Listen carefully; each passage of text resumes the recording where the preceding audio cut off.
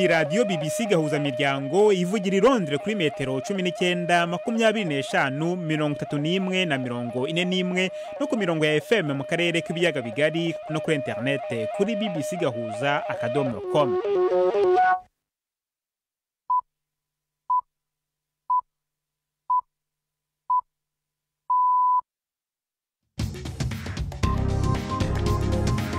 Ubu ni saa kumi n'igice ku isaha mpuzamahanga ya gmt ni saa kumi n'ebyiri n'igice ku isaha yo mu rwanda no mu burundi. Muri studio muri kumwe na jacques niyitegeka. Izi ni ingingo z'ingenzi zigize aya makuru. Perezida w'uburundi evariste ndayishimiye yavuze ko kumenya ukuri ntacyo byaba bimaze kuramutse gutumye mu gihugu haduka indyane.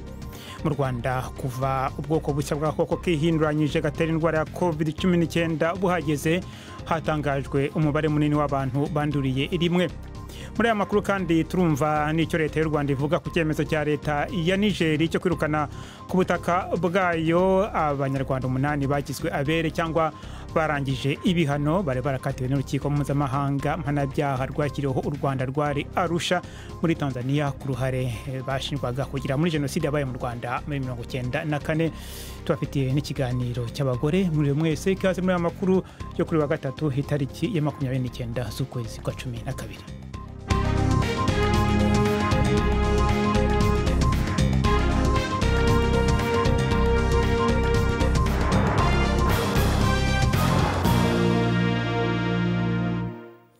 Ayo makuru yose ndetse n'ayandi ku buryo burambuye ni mu kanya. Florentine kwizera amaze kutugezaho muri make amakuru y'ingenzi avugwa hirya no hino ku isi n'amakuru atugezaho ari we mu rugo. Urakoze jack. Mpere i geneve aho umuyobozi mukuru w'ishami rya onu rirero amagara y'abantu oms tedros edanom gebreyesus yavuze yuko ikiza ca coronavirus cabaye bwa gihuhusi canke tsunami biturutse ku ikwirirana ry'ubwandu bw'imero yaco ya omicron ivyo avuga yuko bitera ibisata by'ubuvuzi n'abaganga kunanirwa hirya no hino ku isi tedros edanom gebreyesus yavuze ko abari mu yabwiye abari mu kiganiro c'abanyamakuru Geneve yuko igihe kigeze yuko ibihugu bitunzi biha umugongo ivyo kwikunda bimara igihe gitoya ahubwo bagakorera hamwe kugira ngo ubusumbasumbane mu kuronka incanco burangwa mu isi burangire. Mu iheze urunani rw'ibigo n'amashyirahamwe ari mu isekeza ryo kurwanya ico kiza ca coronavirus yavuze yuko leta zunze ubumwe za amerika ubumwe bwa buraya n'ubwongereza byonyene mu ndwi zitandatu gusa byaronse incanco zisumba iz'umugabane wa afurika waronse mu kiringo c'umwaka wose.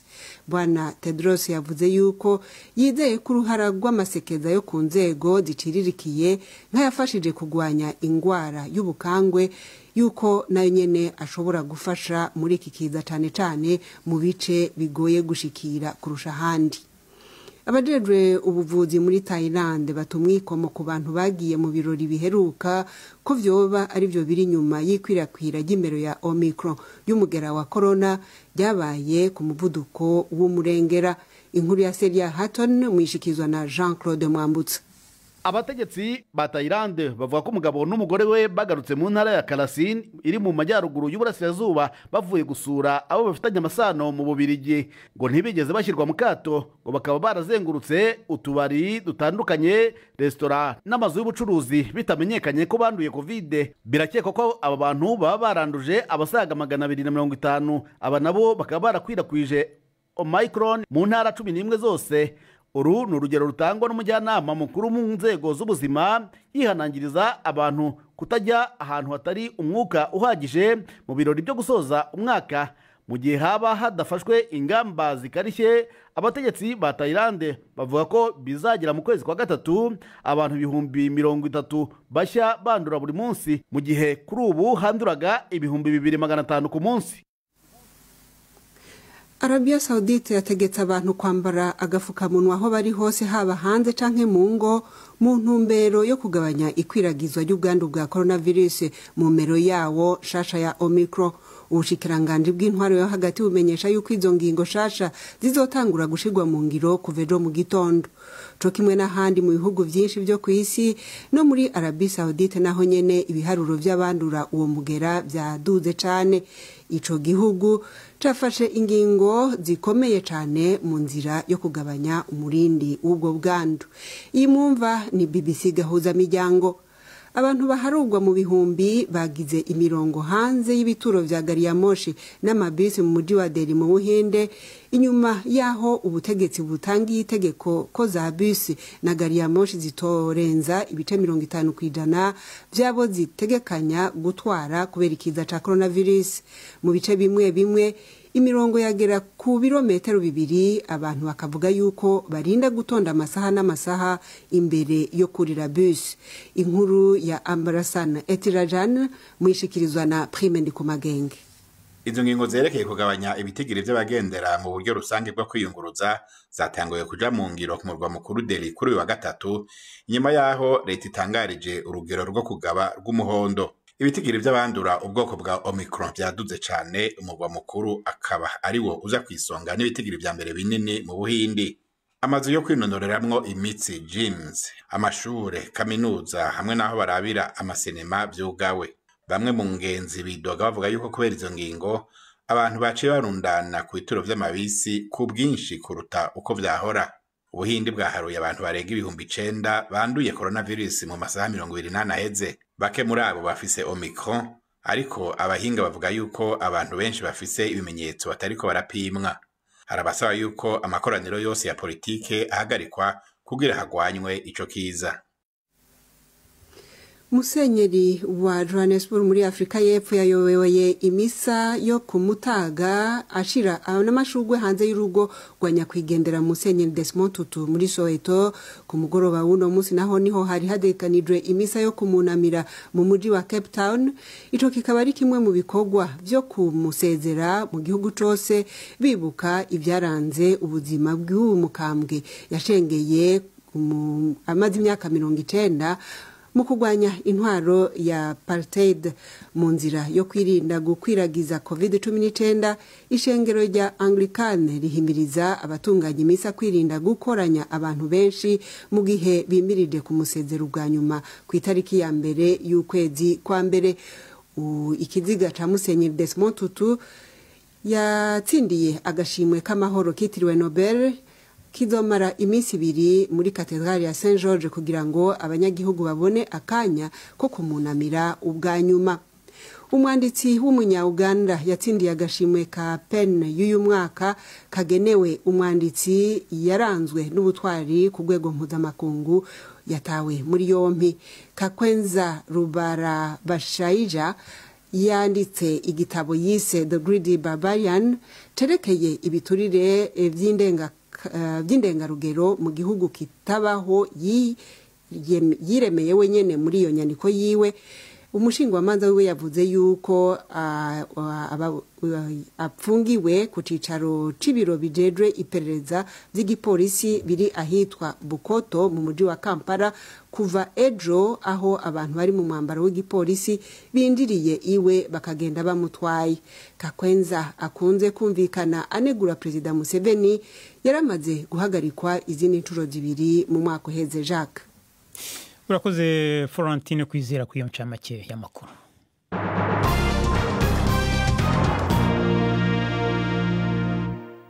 Ano makuru ku buryo burambuye reka tuyahere mu burundi. Umukuru w'icyo gihugu evariste ndayishimiye mu kiganiro yahaye abamenyesha amakuru hamwe n'abanyagihugu yagarutse ku kibazo cy'ububasha bw'umugwi ushejwe kunywanyisha abarundi no kurekurirana mu matohoza wakoze wemeza ko habaye ihonyabwoko ry'abahutu mu mwaka w'igihumbi magana cyenda mirongo irindwi na kabiri na mirongo irindwi na gatatu ku ntwaro ya michel micombero mu gihe hari abafise amakenga ku bijyanye no kumenya ukuri no kunywanisha abarundi evariste ndayishimiye yavuze ko ukuri koza gutuma mu gihugu haduka indyane abarundi bofuma baguheba.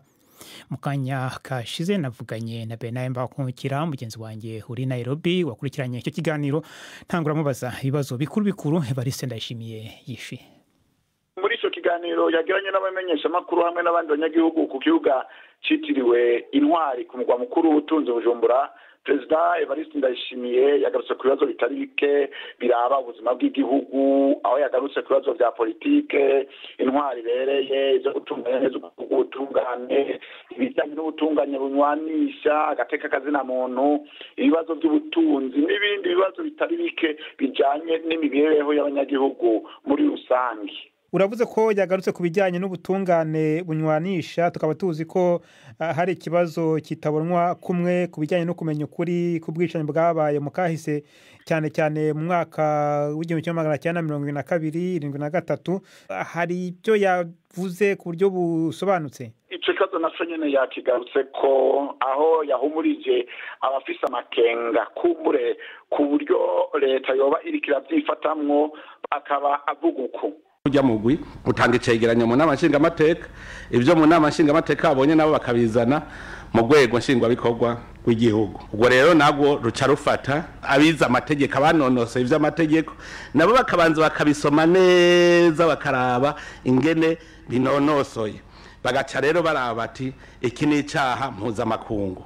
Ni ukuvuga yuko ubwa mbere baravuga bati byakozwe n'abandi. Ikintu je nagomba mbwira abarundi ibishobisho tubireke. Nta bwoko bwagize jenoside mu burundi. Nitwemere neza ko ubutegetsi bw'igihugu bwamenje. Ntagire rero ubwoko ubusubira kuvuga ngo je ndi muri ubu bwoko ndagowe. Mu minsi ishize umurwi ujejwe kumenya ukuri no kunywanisha abarundi wasohoye icyegeranyo uvuga kuri ubwo bwicanyi. Aho wavuze ko ari ihonyabwoko ryakorewe abahutu hakaba hari abarundi batabyemera. Mbe yabivuzeho iki? Nyene perezida evariste ndayishimiye arahumuriza abafitiye amakenga uyu murwi. Umurwi ujejwe kumenya ukuri no kunywanisha abarundi severe. Akavuga ko uyu murwi ufasha ahubwo igihugu kugira ngo ibyabaye ntibizosubire kuba. Umviriza ingene avuga. Ni kwaba uko kuri ari ukuje gutuma injyane ziba mu gihugu. Uko kuri ntacyo koba kumaze. Ni cyo gituma uburongozi bw'igihugu butegereza gukora ibishoboka byose kugira uko kuri kutwubake kubake kazoza k'uburundi gukure ibintu byo kuva mu kwihorana. Hanyuma kandi bernard haravugwa n'ibibazo byo kunyuruza abantu byagirizwa urwego rw'iperereza ndetse mu minsi ishize hari umunywanyi w'umugambwe seneri utavuga rumwe n'ubutegetsi wishwe. Hari icyo yakivuzeho? Abajije kuri iki kibazo nawe nyine avuga yuko ibyabaye bibabaje cyane. Kandi ko uwabikoze ategerezwa kuzohanwa bimwe by'akarorero. Niwe na yo kubivugwa iby'abanyuruzwa akaba avuga yuko ari utugwi. Tw'inkozi z'ikibi zishaka ahubwo kwandika icyeyi igihugu. Umviriza ingene yishyura ibyo bibazo byose. Turafise inkozi z'ikibi muri iki gihugu. Barabuze ingene boguma batuntuza abarundi. Uwo mugwi tuguma tuwuhiga kandi hariho abamaze gufatwa muri wo. Twarasanze mbere hariho n'abajejwe umutekano barimo kuko hariho nk'abantu bajya banyuruza umuntu hajya mu kigobe igihe kimwe mwarabyumvise hanyuma tugira imana abajejwe umutekano baja gutabara baca basanga harimo umupolisi. Muri izo nkozi z'iki? Murumva yuko nk'ako kagwi kariho hariho ubugwi bwinshi bumaze guhe- guheza. Mugabo twarabonye ico baba bashaka bashaka kuvuga ngo bagirizwe ko ari uburongozi bw'igihugu bwa- bwanyuruje umuntu. Perezida evariste ndayishimiye mu kiganiro n'abamenyeshamakuru n'abanyagihugu. Tugaruke ku nkuru twabagejejeho ejo ivuga ko leta ya nigeri yisubiyeho nyuma yo gusinya amasezerano yo kwemera gutuza muri icyo gihugu abanyarwanda umunani bagizwe abere cyangwa barangije ibihano bari barakatiwe n'urukiko mpuzamahanga. Mpanabyaha rwashyiriweho u rwanda rwari arusha muri tanzania ku ruhare bashinjwaga kugira muri jenoside yabaye mu rwanda muri mirongo icyenda na kane. Amasezerano hagati ya leta ya niger n'urwego rwasigaye rurangiza imanza zasizwe n'urwo rukiko abemerera gutura muri nigeri nyuma y'imyaka bari bamaze arusha barabuze igihugu kibakira. Ariko mu buryo butunguranye leta ya nigeri yisubiyeho ibaha iminsi irindwi kugira ngo babe bavuye ku butaka bw'icyo gihugu. Hari amakuru avuga ko bishoboka ko leta ya nigeri yisubiyeho kubera igitutu cya leta y'u rwanda. Nabibajije alain mukurarinda umuvugizi wa leta y'u rwanda.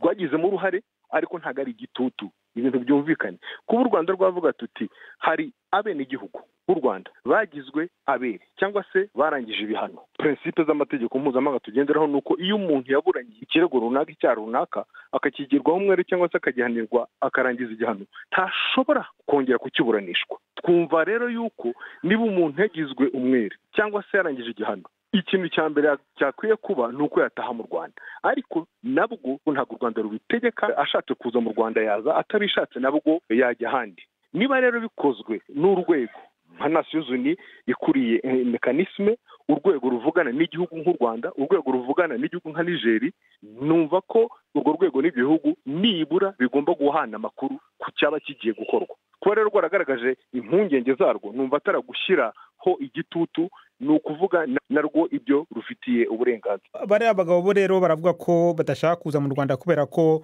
bavuga ko badafitiye icyizere leta y'u rwanda ngo ikomeje kubita abajenosideri. Mwabahumuriza gute? Umuntu yitwa umujenosideri nabwo sinanavuga ngo yitwa umujenosideri akekwaho icyaha igihe cyose kitaramuhama. Igihe cyamuhamye akarangiza igihano cyangwa se igihe yaburanye akagirwa umwere urumva ko nta mpamvu yo kongera kumwita umujenosideri.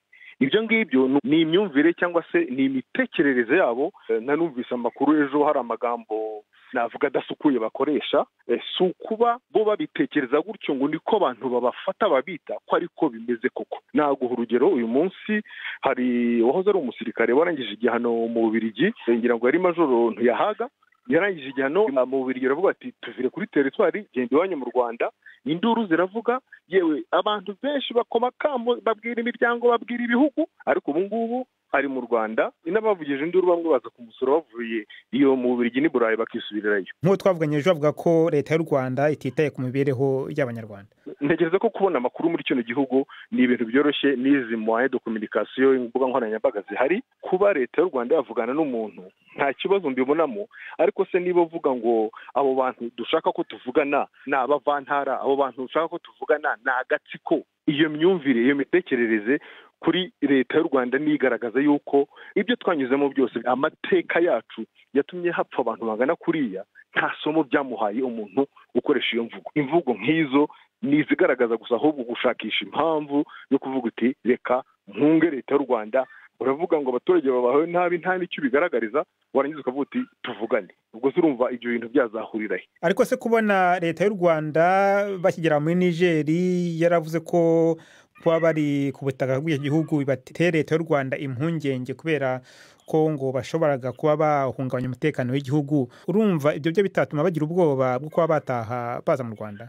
Icyo ngira ngo ni na ambasaderi wacu mu muryango w'abibumbye yavuze ni uko turizera yuko aho bagiye batazigera bagerageza kuba bakora ibikorwa byatuma umutekano w'u rwanda cyangwa se n'ibindi bihugu mu karere uhungabana. Ntabwo bivuze byanze bikunze yuko leta rwanda idatanga pozisiyo yayo cyangwa itavuga icyo itekereza itagendera ku masomo yakuye ku bandi bantu cyangwa ku byagiye biba ikavuga iti nyaboneka ntimujye muri nigeria cyangwa muri mari ariko ntihazagere nibura wakora ibikorwa byatesha umutekano w'igihugu cyacu. Kuko binabaye yanabikurikiranwaho aramutse abikoze kuko ntaho bihuriye na cya cyaha kindi yaburanye akagerwaho umwere cyangwa se akaba yararangije igihano. Umuvugizi wa leta y'u rwanda alain mukurarinda dukomereze muri uganda umwanditsi wo muri icyo gihugu wegukanye igihembo cy'umwaka pen international award cyagenewe abanditsi mpuzamahanga bandikana ubutwari yatawe muri yombi. Yandika bwa nyuma ku mbuga nkoranyambaga kakwenza rubira bashayija yavuze ko abagabo bafite imbunda barimo bamenagura urugi rwe. Inkuru ya patricia oyera muragezwaho na hivete kabatesi.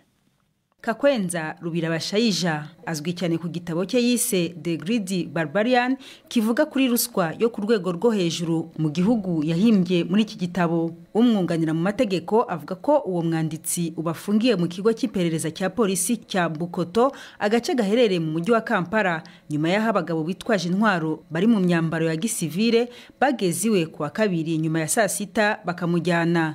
Uwo munyamategeko yabujijwe kumugeraho. Kakwenza akunze kunenga perezida museveni n'umuhungu we lieutenant muhozi kainerugaba. Amasaha make mbere y'uko afatwa kakwenza yanenze abakunzi b'uwo muhungu wa perezida mu butumwa yanyujije ku rubuga nkoranyambaga. Umwaka ushize nanone kakwenza yatawe muri yombi inshuro ebyiri. Polisi ntiragira icyo itangaza ku ifatwa rye. Inkuru ya patricia oyera mukomeje kumva bbc gahuza miryango muradukurikira kandi kuri kisoro fm mu majyepfo ya uganda abari kuri interinete muradukurikira kuri facebook live. Bbc gahuza miryango igoma. Ni kuri fm mirongo cyenda na gatatu n'ibice umunani.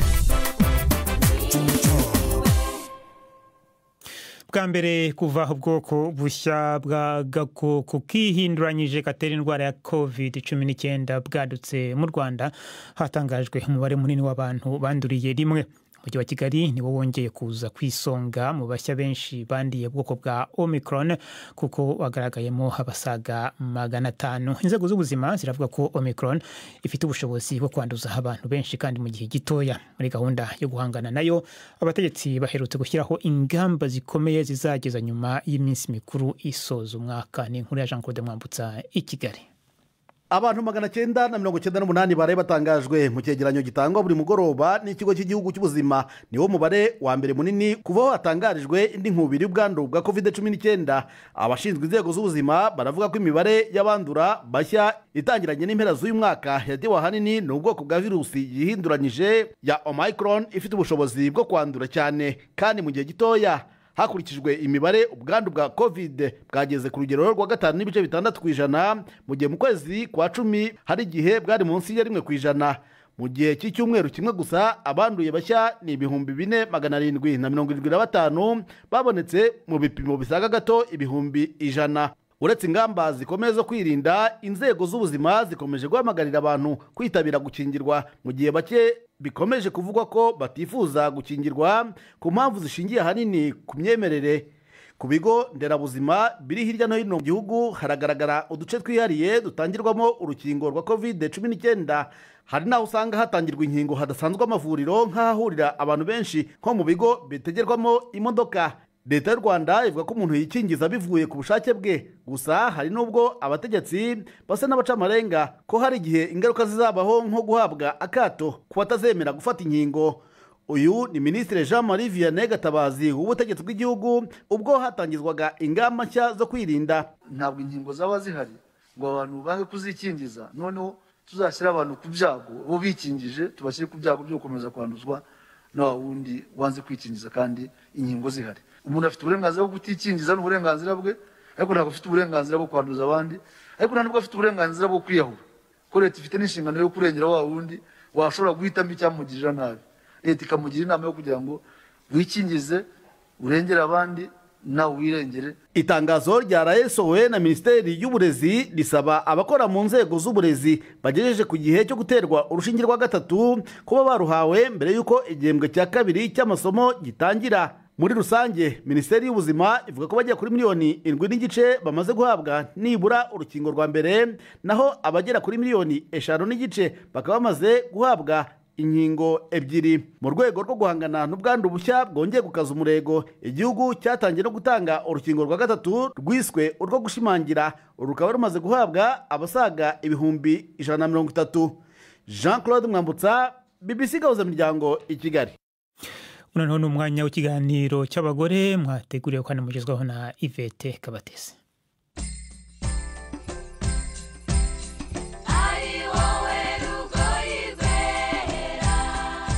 Louise mukangango ni umugore w'imyaka mirongo itatu n'ine. Akora umwuga wo gucuruza ibyuma bya moto ndetse no kumena amavuta ya moteri. Mu masaha ya nyuma ya saa sita twamusanze aho akorera i remera. Mu mujyi wa kigali.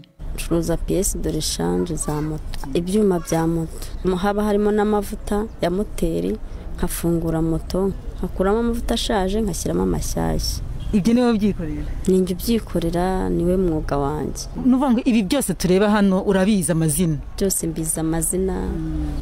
Akaba akita karuruma zijya mu mapine. Akaba akita amabuje yayita ifiritiri iy'amavuta. Buriya na yo igipfa bituma amavuta iyo yapfuye ntabwo azamuka ngo ajye hejuru muri za kirasi. Ndabona noneho n'utubido utu ni tumwe tw'aya mavuta ukoresha ko mbona agenda kumera nk'ay'imodoka aba kimwe n'aya moto? Ni amwe n'aya moto. Mm, haba hari amato atarafunze haba hari nyine n'amasukano kuko bose ntabwo aba ari ibiciro bimwe. Mbese umuntu agura uko yifite? Mm, uko yifite. Ok twajya hanze rero ukatwereka n'uko umena amavuta. Ngo ngiye gufungura.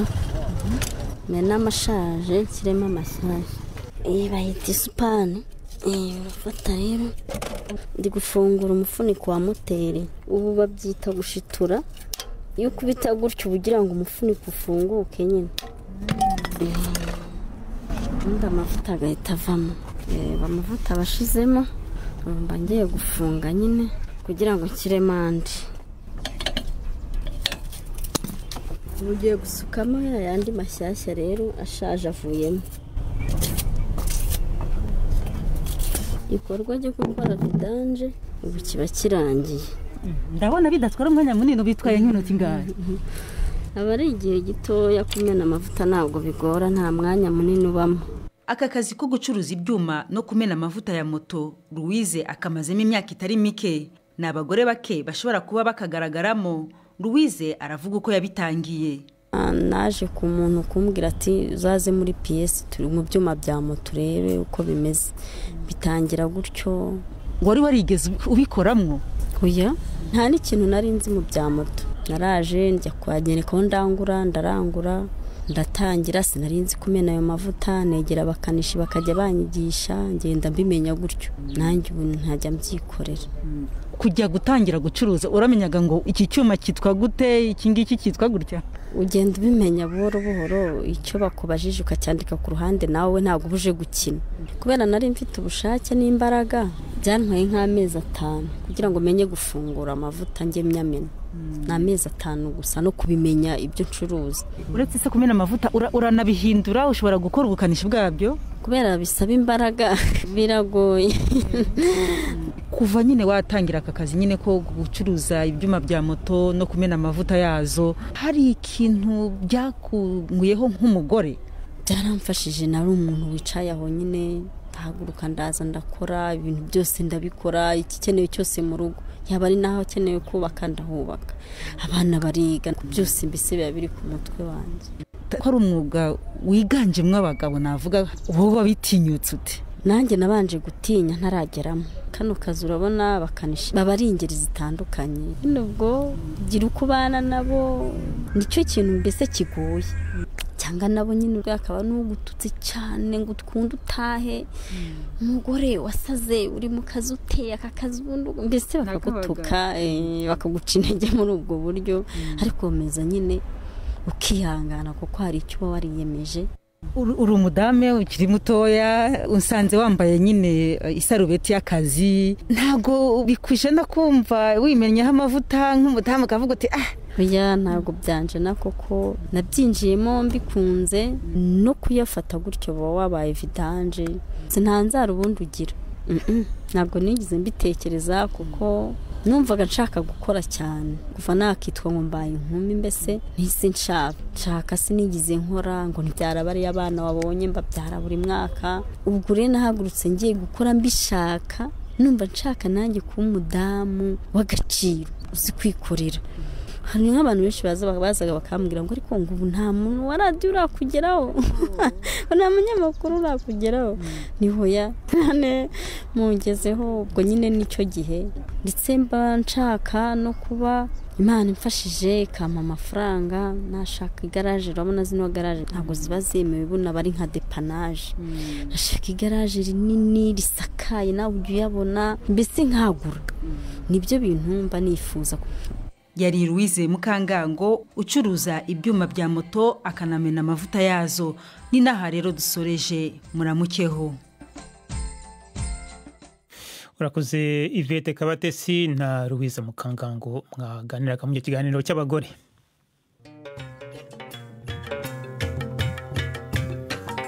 Ngurwo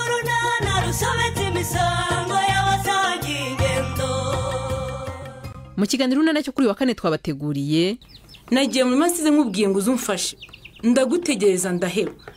None dore watuyemo imyenda myiza wagira ngo uri umukozi wa leta erega. Ngo ugiye mu batipe kuramo vuba uze tujye muri masenyine mama ni ukuri mfite gahunda ntashobora kwica. Ngo iki sediri gahunda ngiyemo ntishobora guhinduka pe. Ese undi ako gakapu batangamo impano ni akandi ni saa kumi n'ebyiri na mirongo ine n'itanu kuri bibisi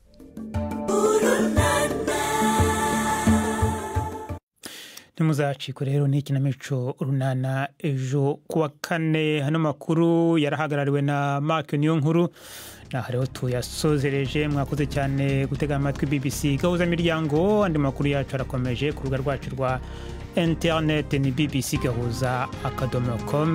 Ku buhanga bw'ibyuma hari michael rigard muramukira.